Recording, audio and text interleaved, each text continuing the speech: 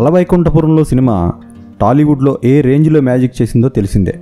ఏదో కొలత కొలిచినట్టు త్రివిక్రమ్ ఆ సినిమాలో ఎవరికి తగినట్టుగా వాళ్ళ పాత్రల్ని తెర మీద ఆవిష్కరించాడు. అందులోనూ సినిమా మొత్తం మీద ఎక్కువ మందిని ఆకర్షించిన పాత్ర మల్టీమిలియనీర్ రామచంద్ర పాత్ర. ఆ పాత్రలో మలయాళ విలక్షణ నటుడు జయరాం జీవించాడు.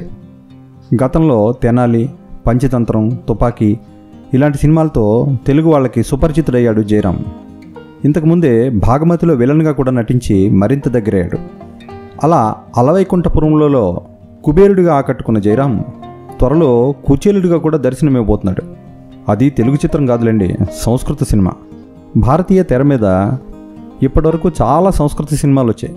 ఆదిశంకరాచార్య భగవద్గీత ప్రియమానసం ఇష్టి సూర్యకాంత అనురక్తి పుణ్యకోటి ఇవన్నీ ప్రేక్షకులను ఆకట్టుకున్నాయి. అయితే జనరల్గా సంస్కృతం దైవ భాష అనే ఫీలింగ్ కాబట్టి ఆ చిత్రాల కథాంశాలన్నీ సాధారణంగా ఆధ్యాత్మిక కోణంలోనే ఉంటుంటాయి. ఇప్పుడు అదే జాబితాలోకి మరో సినిమా కూడా చేరబోతోంది. అదే నమో. భక్త కుచేలుడి కథని ఓ కొత్త కోణంలో ఆవిష్కరిస్తున్నాడు మలయాళ దర్శకుడు విజీష్ మణి. కుచేలుడి పాత్రలో జయరాం భారతీయ ప్రేక్షకుల్ని భక్తి పార్వశ్యంలో ముంచబోతున్నాడట. ఈ సినిమా కోసం జయరాం చాలా జాగ్రత్తలు తీసుకున్నాడట. ఆ పాత్రను ఓన్ చేసుకుని మరీ మేకోవర్ అవుతున్నాడు. పూర్తిగా గుండు కొట్టించుకుని దాదాపు ఇరవై కేజీల వరకు బరువు తగ్గి నమ్మ కోసం బాగా కష్టపడుతున్నాడు. చెప్పాలంటే కృష్ణ కుచేల కథ మలయాళానికి కొత్త ఏం కాదు. ఆల్రెడీ ఇంతకుముందు శ్రీకృష్ణ కుచేల కథనే వాళ్ళు సోషలైజ్ చేసి తెరకెక్కించారు. మలయాళంలో కథ పరయుంబోల్ అనే పేరుతో వచ్చిందో సినిమా.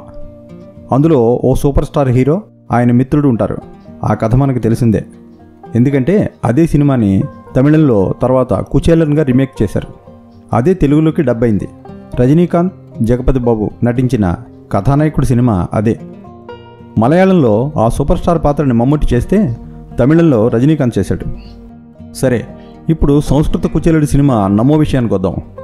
దీనికి సంబంధించిన ఫస్ట్ లుక్ పోస్టర్ని విడుదల చేశారు మేకర్స్. సంస్కృతం ఆల్ ఇండియన్ లాంగ్వేజ్ అనో ఏమో. ఇందులో ఇప్పుడు వివిధ భాషలకు చెందిన ప్రముఖ నటీనటులు వివిధ రకాల పాత్రలు పోషిస్తున్నారు. ఈ సినిమా నిడివి నూటొక్క నిమిషాలు. ఇది త్వరలోనే విడుదల కాబోతోంది. మరి నమో సంస్కృత చిత్రం జయరామ్కి ఏ స్థాయిలో పేరు తెచ్చిపెడుతుందో చూడాలి.